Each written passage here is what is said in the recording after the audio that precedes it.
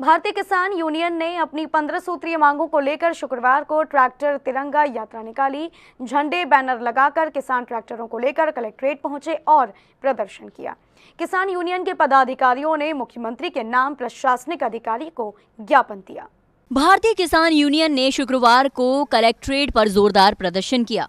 इस दौरान जमकर नारेबाजी की गई। इसके बाद मुख्यमंत्री योगी आदित्यनाथ के नाम प्रशासनिक अधिकारियों को ज्ञापन दिया गया। पदाधिकारियों का कहना है कि पंद्रह सूत्रीय मांगों को लेकर ट्रैक्टर तिरंगा यात्रा निकाली गई है। मांग पूरी न होने पर आंदोलन किया जाएगा। भारतीय किसान यूनियन के राष्ट्रीय प्रवक्ता चौधरी राकेश टिकैत जी के आह्वान पर पूरे उत्तर प्रदेश में ही नहीं, पूरे हिंदुस्तान में आज तिरंगा यात्रा, ट्रैक्टर तिरंगा यात्रा निकाली गई है। तेईस तेईस जुलाई को आगरा में, अभी हाल ही में राज, चौधरी राकेश टिकैत आगरा में आए हुए थे। उन्होंने स्पष्ट तौर से कह दिया था कि किसानों की बात तो आपको माननी ही पड़ेगी। कुछ मांगे हमारे रायपुर और रहनकला की एक मांग मानी गई। सिर्फ़ जो है वो माननीय मुख्यमंत्री जी ने आगरा में आकर उसकी घोषणा की। ज़मीन वापस करो। या उनको जो चार गुना जो अधिग्रहण जो जिस तरह से जो नया वो चल रहा है प्रोसेस उसके हिसाब से किसानों को उसको है तो ऐसी पंद्रह सूत्री मांगे हैं उनको लेकर के भारतीय किसान यूनियन के राष्ट्रीय प्रवक्ता चौधरी राकेश टिकैत जी के आह्वान पर ये हुआ है। हमारे बीच में उत्तर प्रदेश के उपाध्यक्ष आदरणीय बुद्धा सिंह प्रधान जी, मंडल अध्यक्ष रणवीर सिंह चार जी, हमारे युवा के मंडल अध्यक्ष विपिन भाई, ऐसे आदरणीय टिकैत साहब ने हमारे बीच में लोगों को भेजा है।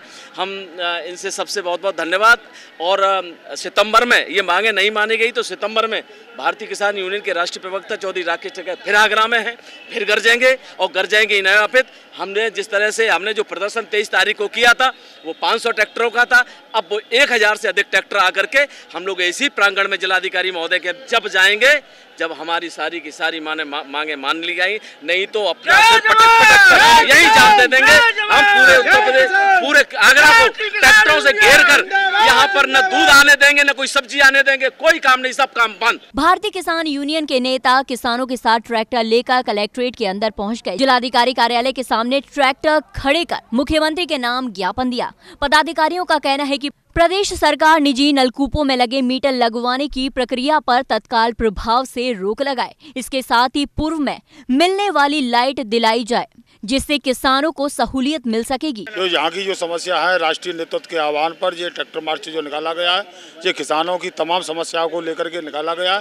तेईस तारीख को किसानों की मसीहा चौधरी राकेश टिकैत, कुंभेरपुर कट पर महापंचायत हुई थी। महापंचायत एक ज़मीन वापसी का मुद्दा था उसमें।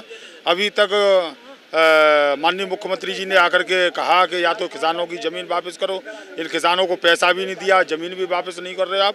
तो उस पर अभी तक तो कोई विशेष रूप से कोई अमल नहीं हो रहा है। देखिए तिरंगा यात्रा रमाडा से निकाली है हमने कलेक्ट्रेट तक। ऐसी तमाम समस्या है ज़मीन वापसी अगर ये एक महीने के अंदर में अगर नहीं होता है तो अक्टूबर के महीने में आंदोलन गर्म होगा, मौसम ठंडा होगा। ट्रैक्टर तिरंगा यात्रा में शामिल नेताओं का कहना था कि पानी की विकराल समस्या बनी हुई है। बारह विकास खंड डार्क घोषित है। इस वजह से आगरा में बैराज की आवश्यकता है। पूर्व में बैराज बनना तय था। पैसा भी आया, लेकिन जनप्रतिनिधियों की उदासीनता के कारण बैराज नहीं बन सका।